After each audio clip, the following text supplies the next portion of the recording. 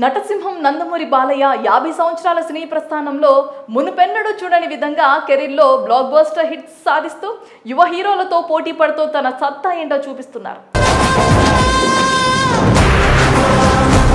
ఒకవైపు రాజకీయాల్లో బిజీగా ఉంటూనే అన్స్టాపబుల్ షోలో హోస్ట్గా ఒకవైపు రాజకీయాల్లో బిజీగా ఉంటూనే అన్స్టాపబుల్ షోలో హోస్ట్గా ఇరగదీస్తున్నాడు తనకు సాటి ఎవరూ లేరు అంటూ నిరూపిస్తూ సింహంలా గర్జిస్తూ ఫుల్ జోష్లో ఉన్నారు.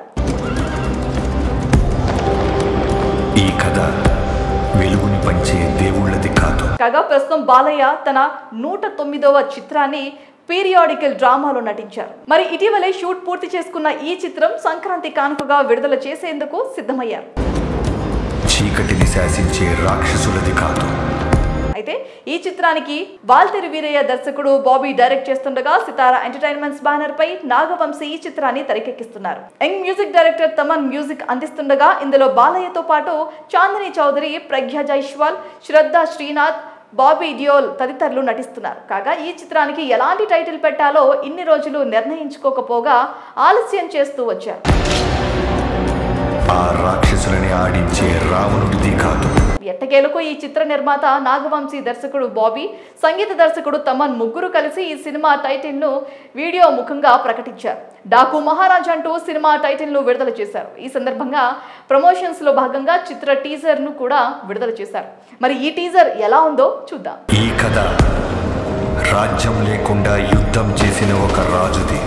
ముందుగా ఈ టీజర్ మొదలవగానే ఎడారి ప్రాంతంలో గుర్రాలపై బాలకృష్ణ బందిపోటుగా స్వారీ చేసుకుంటూ వస్తాడు. హీరో కళ్యాణ్ రామ్ వాయిస్ ఓవర్తో ఈ కథ వెలుగుని చింపే దేవుడిది కాదు.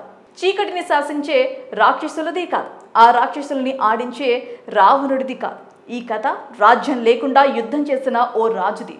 కండ్రగొడ్డలి పట్టిన యమధర్మరాజుది మరణాన్నే వణికించిన మహారాజుది.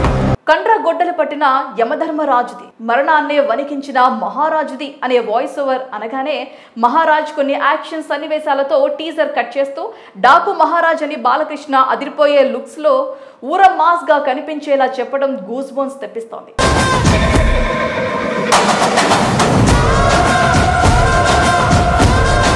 అంటే ఈ చిత్రంలో బాలయ్య బందిపోటు పాత్రలో ప్రజల్ని పట్టి పీడిస్తున్న రాజులకు ఎదురు తిరిగి పేదల పక్షాన నిలబడే గొప్ప మనిషిగా యుద్ధ వీరుడుగా కనిపిస్తున్నాడని టీజర్ ద్వారా అర్థమవుతోంది.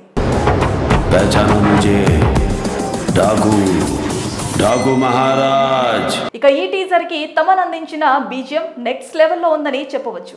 నిజానికి బాలయ్య అనగానే తమన్ బీజిఎంకు ఊపు వస్తుందేమో ఒక రేంజ్లో బీజిఎం అందించాడు